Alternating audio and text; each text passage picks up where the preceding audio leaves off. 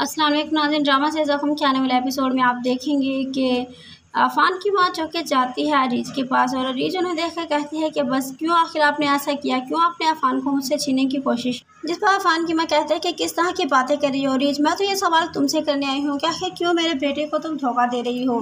इस पर अरीज कहती है कि मैं जिस कदर मजबूर हूँ ना, मैं अच्छी तरह से जानती हूँ।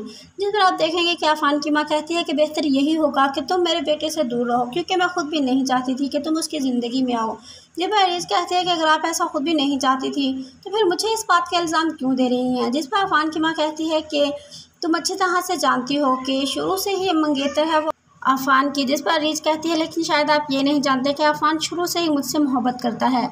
लेकिन फिर भी अगर आपका बस चलता है तो बेशक से आप अपने बेटे को रोक लीजिए, जिस पर अफ़ान की माँ कहती है कि अच्छी तरह से जानती हूँ कि तुमने मेरे बेटे को हर धर्म बना दिया है। जिस पर रीज कहते हैं कि मुझे कोई भी इल्ज़ाम देने से पहले आप अपने गिरबान में झाँकें कि आपने अपने बेटे के साथ क्या किया है। ये सब देखेंगे आने वाले एपिसोड में। वीडियो अच्छी लगी हो तो लाइक कर दीजिएगा। अभी मिलते हैं, अल्लाह